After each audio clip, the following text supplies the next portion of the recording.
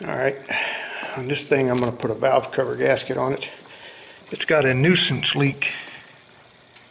It's almost even hard to see. You can see the oil piling up right there, right where that light's shining.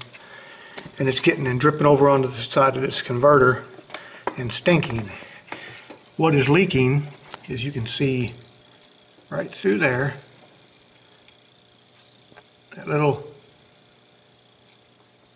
well, I can get a light on it. Yeah, right below this bolt. It won't focus on it. It's got too much light in there. Yeah, right there. Okay, what we have is a plug in the back of that. It is uh, more than likely leaking. I'm going to see if I've got one handy. See this plug right here? That's what's leaking. It's no big deal to change. Um, I've got a couple of them. I got a valve cover gasket hanging right there.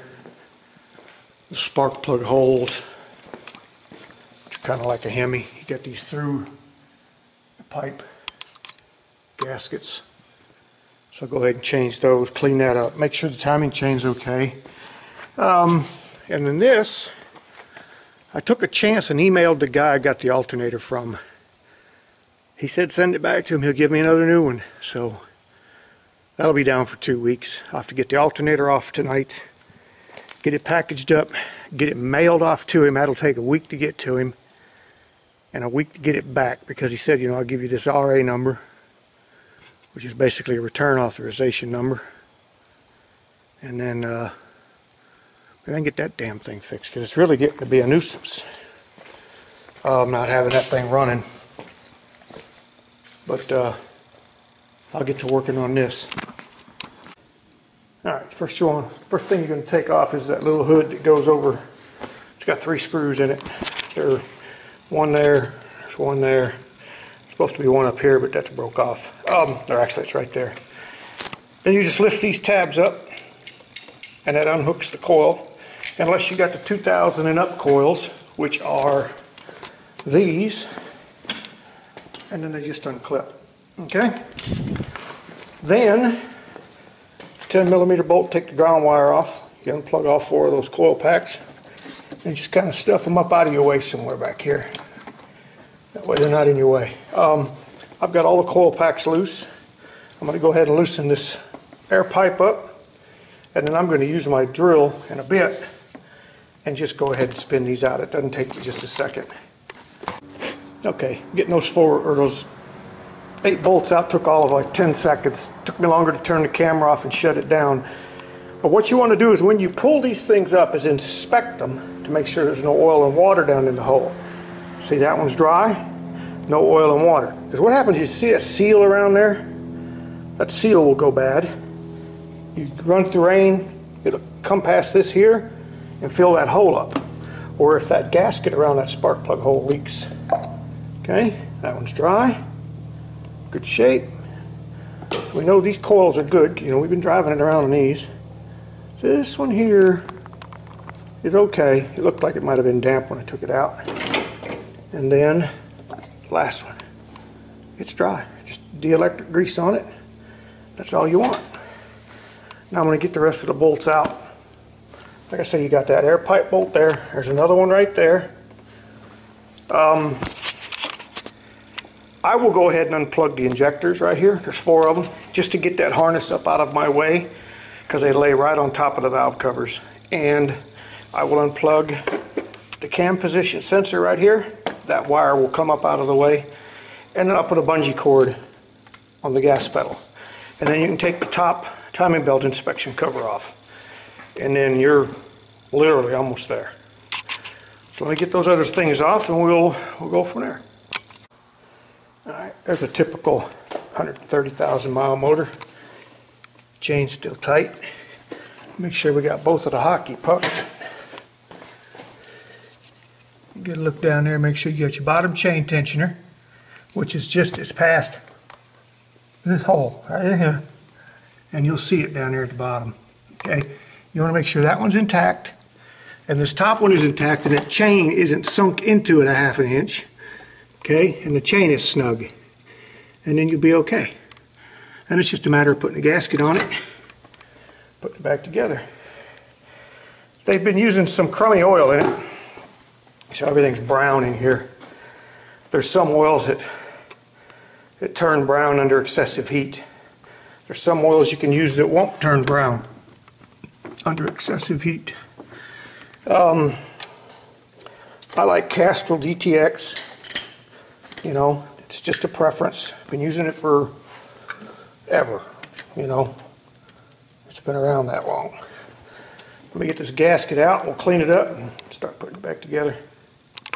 All right, this is the old gasket off. You can see how, how stiff this thing is. It has no flex, no give. This uh, cam plug is hard as a brick. You can't even squeeze it. It's almost like a cracker. Okay, here's our replacement. See how pliable it is? It's nice and loose and rubbery. See that here? I mean, I can squeeze it almost flat. It's nice and spongy. What you might want to do is even put just a little smudging of RTV on this, this little hump part. Nowhere else. Nowhere else is going to need it. Um, these are generally good gaskets. They don't leak that often. You know, if you change them like you're supposed to, uh, I recommend them. You know, these things will go 50, 75,000 on a spark plug. I would recommend changing the valve cover gaskets, you know, once every couple years. Or if you see it leaking, change it. Don't, you know, don't wait and wait and wait until there's oil all over the place. And it looks like the Exxon Valdez is stopped in your driveway, you know. Get it taken care of. It, it's not that much work. And even on the V6 models, you just got two banks like this. You got this bank on this side, which will be a little bit farther, a little bit farther back, and this bank on this side will be a little bit farther forward to offset from the pistons. And there'll only be three on each side instead of four. Uh, you can see my little plug for the ATW head, uh, which is the ones with EGR valves. They also make a, a small port head and a large port head. I don't think you can see mine from here. Yeah, yeah, you can actually. Okay. See these ports right here? See how small they are? See these ports right here? How big they are? Okay. Um, the newer model heads have smaller ports. Remember the exhaust ports? Exhaust ports are just a little bit smaller over here. If I can get a good zoom on them. Let me get a micrometer see what we're looking at. Okay, I've adjusted the micrometer on this one to just barely fit in here. You can see it, okay? Let me go down here. You can see it better, okay? In the top and in the bottom. Okay, that's 2000 up head. Here is, see the difference? That's at the bottom and that's at the top. There's a half inch difference there. Okay, and on the exhaust side, let me do the exhaust one. We'll do the exhaust on the small head. That's a round port anyways. Okay. Just barely fits in there. Okay, there's probably a uh, 3 16ths, maybe a quarter inch difference in the exhaust side. These are the heads you want when you're building a, you know, 200 horse motor. It's tougher to get them out of this motor. The, motor that's in this car is 2000 and up. And it, uh, it actually feels peppier than the one on the other side of that black car up there. You can see the tail light sticking up right over top. That's the one that was wrecked that I put together. Okay. This is the Craigslist car here. The body isn't, but all the exterior parts, motor, hood, everything that'll bolt on this car's Craigslist. But uh, let me get uh, this valve cover back on. All right, there's the new gasket, all cleaned up. New spark plug hole gasket. Then you get your valve cover gasket with the plug in the back. Everything's cleaned up. I pulled the spark plugs out, regapped them, cleaned them up, cleaned all the dielectric grease on them, re-anti-seized them. You only need a dab. Um, and I mean a dab. Put it on the bottom threads. Do not get it on the electrode because it will not burn off.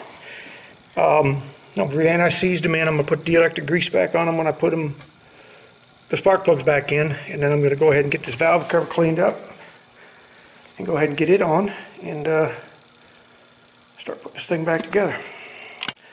I got the valve cover all cleaned up. I just got the bolts started because I'm going to show you in the order you want to do these in is you want to do these three first and then go around the outside. Because what you want is you want to push the center of this valve cover down as flat as you can against these spark plug holes and then you work your outside down. If you push this side down, it's going to push it in. You push this side down, it's going to push it in. It's going to have a big hump. Then when you tighten these three bolts down, they're going to leak. Um, and this is one of the situations where I said, I should have said, hold my beer and watch this. I sprayed this down with uh, paint stripper. You know, get all the varnish out from inside the valve cover. It's still hot, actually. Um, took it outside, let it sit for 15 minutes, and I went and hit it with the hose. The damn hose nozzle went down in here, sprayed water, shot it back up in my face, on my clothes, on my arms. My eyes are still burning. Um, I couldn't run fast enough to get in the house to get that stripper out of my eyes. I mean, the inside of my, my right eye is just stinging. But anyways, I'm going to tighten them down with my drill. I'm going to put it on a clutch. About number 10 is about all you need and just crank them down. Okay, and this is how you tighten these down.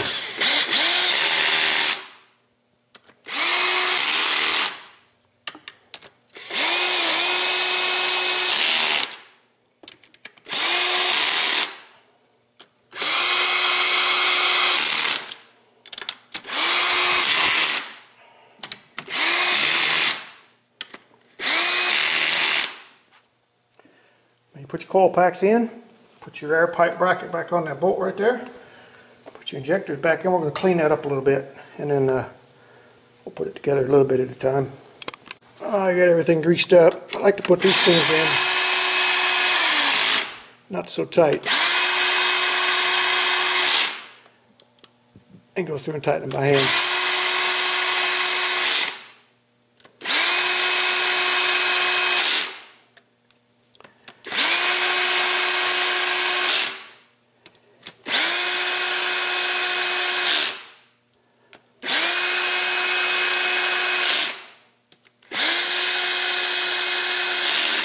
Okay, that'll be it for the power tools. All right, oil's full, water full. Opening up the fan belts.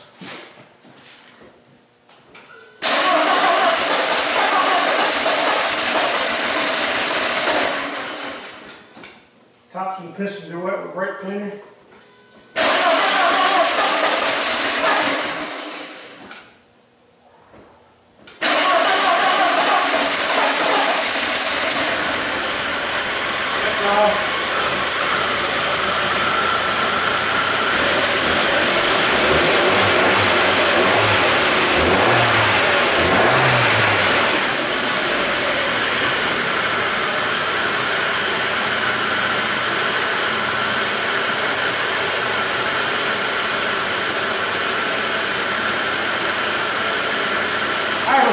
smoother. Spark plug gap was about 25 thousandths, and this thing calls for 32. So what I went and did is bumped it up to 32 on all the plugs. The plugs don't have, uh, I don't know, 10, 15,000 miles on them. Well, I thought I got all the brake oil out. See that little bit of oil right there? I thought I got it out.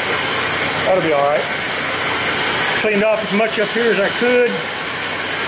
Down here.